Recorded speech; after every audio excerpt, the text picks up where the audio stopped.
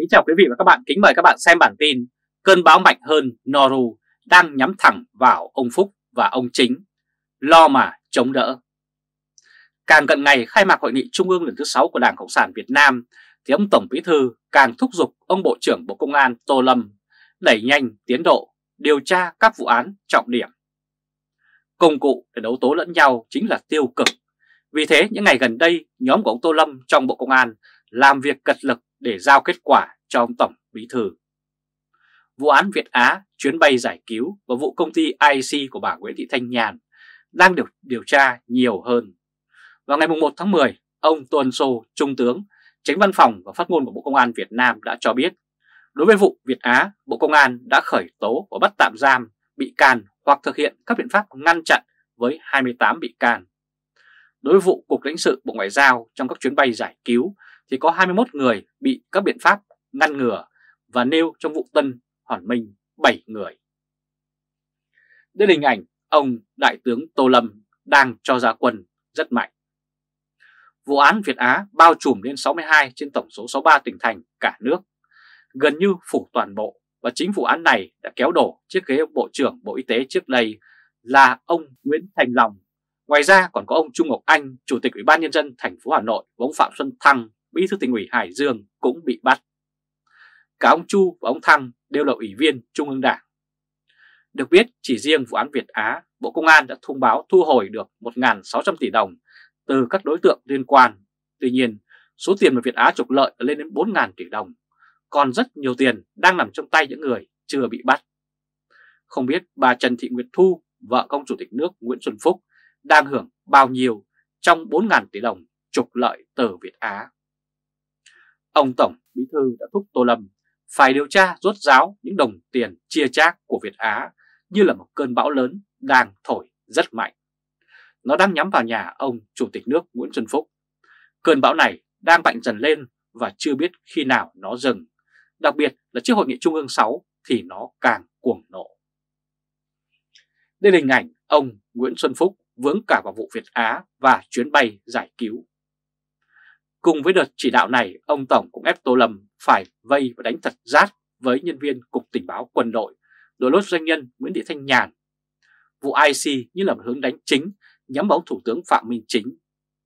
Vào ngày 10 tháng 5, ông Tô Lâm đã cho cơ quan cảnh sát điều tra thuộc Công an Việt Nam phát lệnh truy nã đối với doanh nhân Nguyễn Thị Thanh Nhàn. Phát lệnh truy nã để hợp thức hóa việc lùng bắt bà Nguyễn Thị Thanh Nhàn về quy án. Bàn cờ chính trị của phe ông Tổng phụ thuộc rất lớn vào vụ án này liệu có bắt được bà Nguyễn Thị Thanh Nhàn hay không.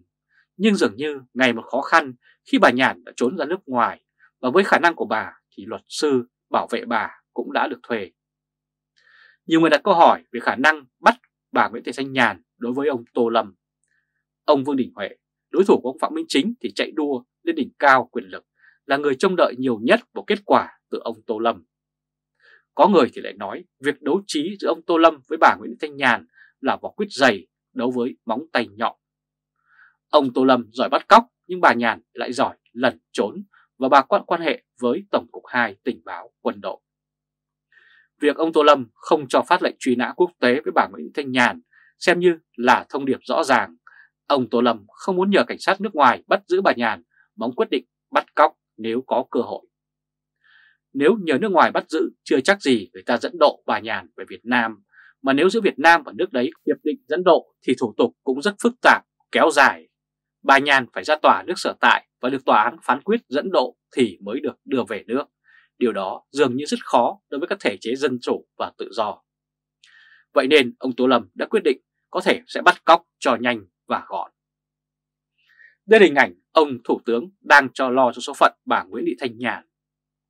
Việc quyết định bắt cóc thay vì nhờ dẫn độ cũng là một rủi ro cho ông Thủ tướng Phạm Minh Chính. Biết rằng bà Nhàn là dân tình báo Tổng cục 2, bắt bà Nhàn không dễ như bắt Trịnh Xuân thành Tuy nhiên, không có gì đảm bảo rằng Tô Lâm không bắt được bà Nhàn. Vì thế, việc tung người cài cắm và dự tính bắt cóc người như là một thứ cơn bão, mà đúng hơn là cơn xoáy lốc mà không biết khi nào nó sẽ đổ vào nhà ông Thủ tướng. Trò chơi trốn tìm còn nhiều tình tiết gây cấn, chúng ta hãy cùng chờ xem ai sẽ thắng. Kính chào quý vị và các bạn, kính mời các bạn xem bản tin Oái oăm trời đã sinh ra chính, sao lại sinh ra nơi. Mới đúng một tháng tiếp quản chức giám đốc công an tỉnh Quảng Ninh, mà ông Nơi đã tóm được một số tội phạm là con số lớn hơn số tội phạm mà người tiền nhiệm đã thực hiện. Điều đáng nói là ông Nơi bắt quan chức còn nhiều hơn bắt thường dân.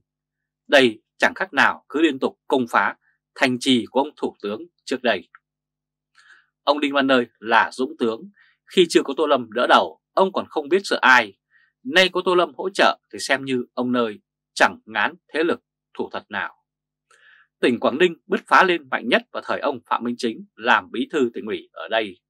Và cũng rất nhiều dự án có nghi vấn được thực hiện từ thời đó chờ ông Nơi đến để khui ra những gì tất khuất phía sau. Đây là hình ảnh ông Thủ tướng Phạm Minh Chính của Việt Nam.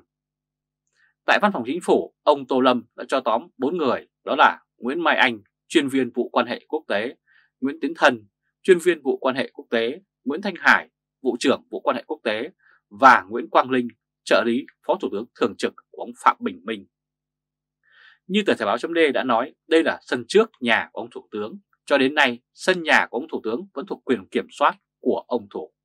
Hiện nay, ông Trần Văn Sơn, Ủy viên Trung ương Đảng, Bộ trưởng chủ nhiệm Văn phòng Chính phủ, là người thân cận của ông Thủ tướng Phạm Minh Chính. Sắp tới đây, ông Sơn sẽ thay thế ông Nguyễn Văn Thể nắm ghế Bộ trưởng Bộ Giao thông Vận tải để lại Bộ Văn, Văn phòng Chính phủ cho người khác tiếp quản.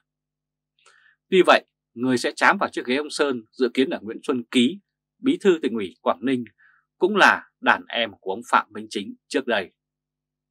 Như vậy, sân trước nhà ông Chính sẽ rút người đi và chám người vào vẫn là người của ông Chính. Nơi mà ông Chính lo nhất hiện nay chính là sân sau, nơi mà ông từng lập nghiệp tại đấy trước khi về Trung ương làm trưởng ban tổ chức Trung ương Đảng. Khi ông Nguyễn Xuân Ký đi rồi thì thế lực ông Thủ tướng tại Quảng Ninh như rắn bắt đầu, không biết rồi sẽ chống đỡ với sự quậy phá của ông Đinh Văn Nơi như thế nào đây.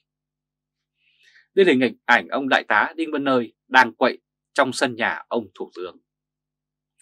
Với việc tuyên bố tôi lựa mấy người quen lớn tôi bắt trước là câu tuyên chiến và thực tế của một tháng nắm quyền, ông Đinh Văn Nơi rất ưa tóm quan chức dính chàm. Với việc được bàn bạc với ông Tô Lâm, được phối hợp với Bộ Công an, trong những năm tháng tới, ông Đinh Văn Nơi sẽ không để trong Phạm Minh Chính yên thần.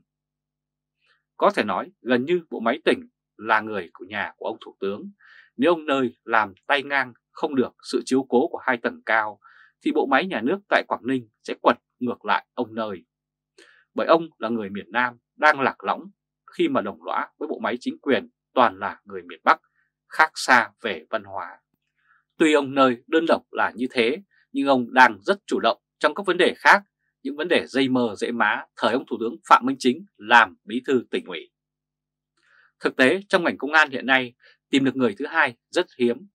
Cũng may trong Tô Lâm và Nguyễn Phú Trọng là hai ông này đã tìm được người thọc sâu vào xào huyệt nhà ông Thủ tướng. Mà cũng xui cho ông Thủ tướng là trời, sao lại sinh ra Đinh Văn Nơi mà ông này lại nổi lên ngay lúc ông Tổng muốn tấn công vào thế lực của ông Thủ. Nếu không có ông Đinh Văn Nơi thì e ông Tô Lâm khó mà tìm được ai làm nhiệm vụ này thay ông. Đây là hình ảnh Liên minh Tổng của Tô Lâm đang cùng Đinh Văn Nơi chiến đấu. Để điều tra ai mà quen lớn luôn khó khăn hơn điều tra những người không quen lớn. Tuy nhiên với việc ông Đinh Văn Nơi cứ tập trung lực lượng tinh nhuệ để ngày ngày đếm xoáy vào sai phạm của những ai quen lớn, thì không sớm thì muộn cũng động đến chính phủ.